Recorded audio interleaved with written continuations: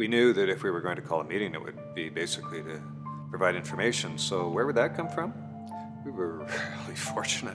It was a remarkable cohort of doctors at that time.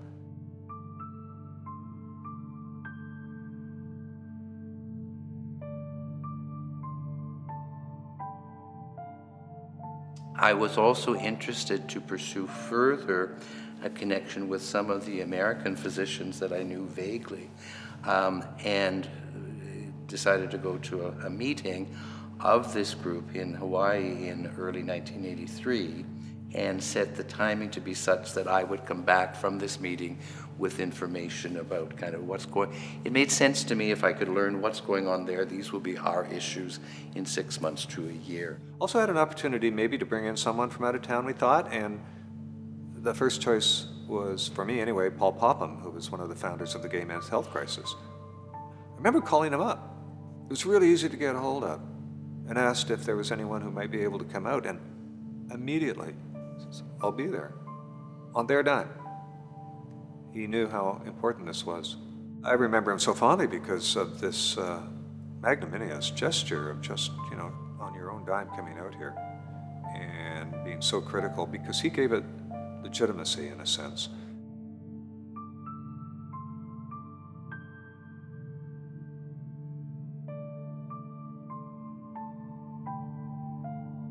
I was in charge of printing up, uh, assembling the information that we knew and printing it up in a brochure and um, having it printed up to and distributed.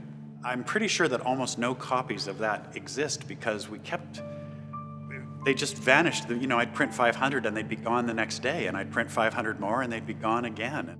We wondered whether we'd get a lot of people out. Ha! Didn't have to worry about that. Place was jammed. The room was full, absolutely full. It was full to bursting, and it was a bunch of worried guys who weren't saying much. What brings me here is our concern over an epidemic that is killing gay men all over the world.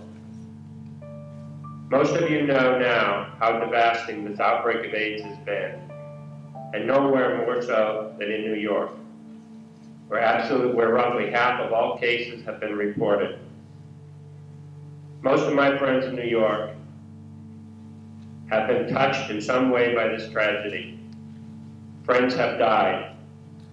The deaths have almost always been long, painful, and unbelievably heartbreaking. I have been through this twice myself. And I think it's fair to say that it has changed my life just as it's changed the lives of so many of us in New York City.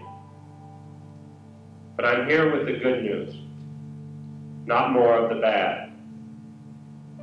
Rough as it is, this epidemic has challenged us like we've never been challenged before, and we've met the challenge.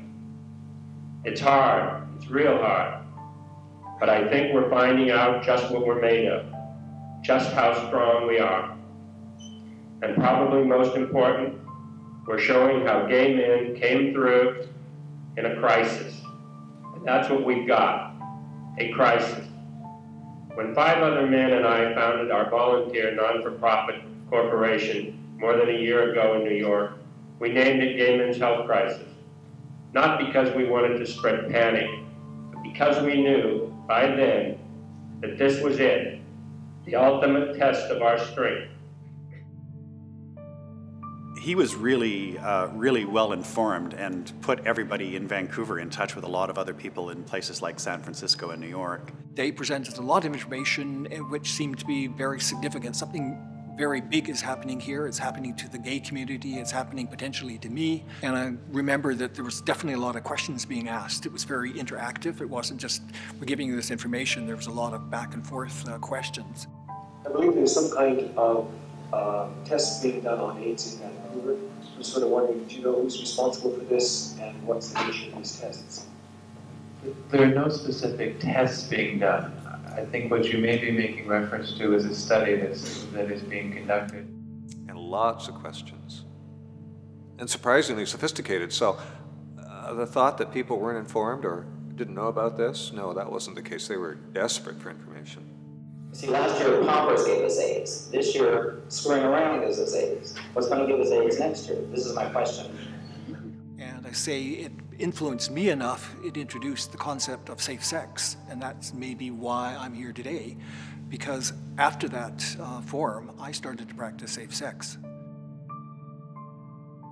At the meeting in Hawaii, I had encountered Dr. Harold Jaffe of the CDC, who advised me that in fact they had identified patient zero as a flight attendant from Montreal. Uh, I advised him that in fact the man had moved to Vancouver. We had at AIDS Vancouver discussed the fact that there was a man in town who was perhaps patient zero. And when a French Canadian man got up and began asking very pushy questions, and by pushy I mean he asked questions about all the things for which there were no answers, and asked them in a way that kind of felt like pushing buttons. It, it really didn't occur to me that at the time that, that this was the Gaetan that I'd met once or twice in Manhattan. He was the first person to be diagnosed with AIDS, to the best of my knowledge, the first white person in North America. Gaetan was regarded by the Center for Disease Control as patient zero.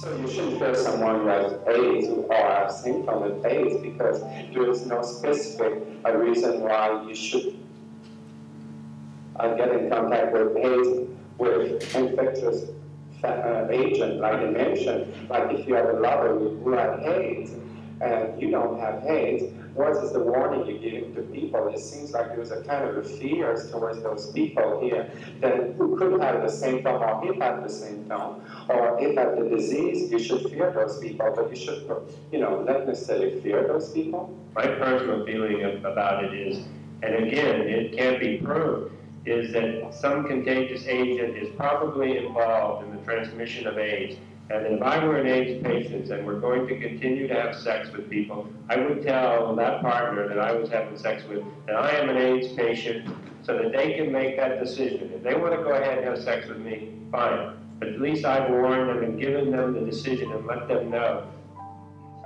The hepatitis vaccine, the new vaccine that is now uh, offered to gay men, has been um, developed with gay men hepatitis. So therefore, anyone who would receive such vaccine could be exposed to AIDS. Because gay men are high risk population for hepatitis B, they were the people originally studied for it and given the vaccine.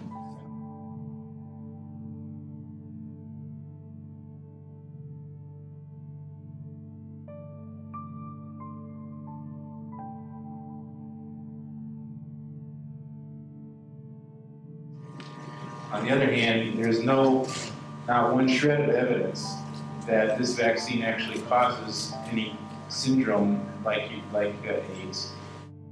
And I recall leaning over to Jeff Maines as moderator to say, please, if you don't get him off this microphone, he will undo any good we've done in the last hours. If you think you may have, or you could be a concerned person with AIDS, if you present yourself to your doctor, what kind of test could you ask him to be undertaken in manner to uh, confirm if you are possibly a carrier or not? If you are sick and you go to your doctor and you ask for tests, there are only certain limited ones he can do. He cannot check out whether or not you've been exposed to AIDS. That test simply does not exist.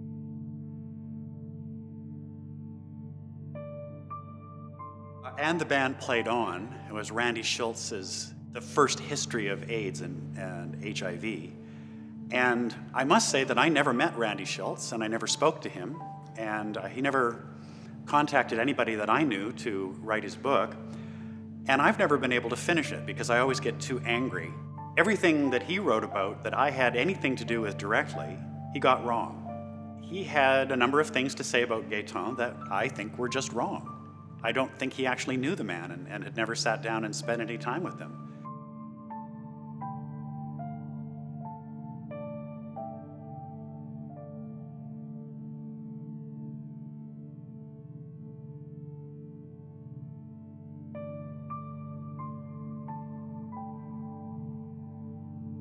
One of the very first times that I talked with him, he was, he was not happy with the CDC. He was, he was very upset at how he had been treated by the Center for Disease Control in Atlanta. He wanted to be an active participant in his own health care, and I don't think they were offering him that opportunity. People have told a lot of strange stories about Gaetan. All I can say is, I don't believe it. Gaetan was not a genius, but he was bright enough to know how to take care of his own health, and he was busy doing that as best he could.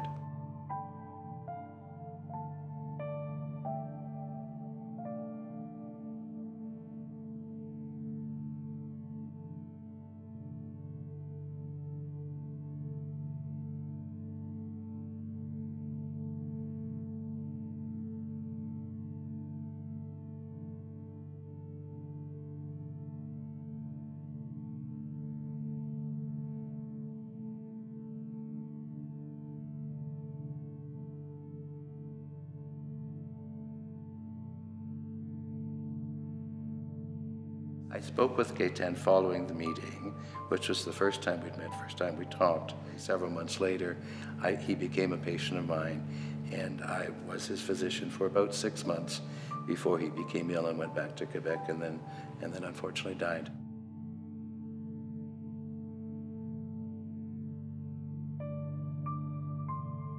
I can't tell you how important it is that you have an organization who is going, is taking it upon themselves to help you through this epidemic, and it does take money, and anything you can do to help them finance their education of your community, it will save lives in your community. I guarantee you that.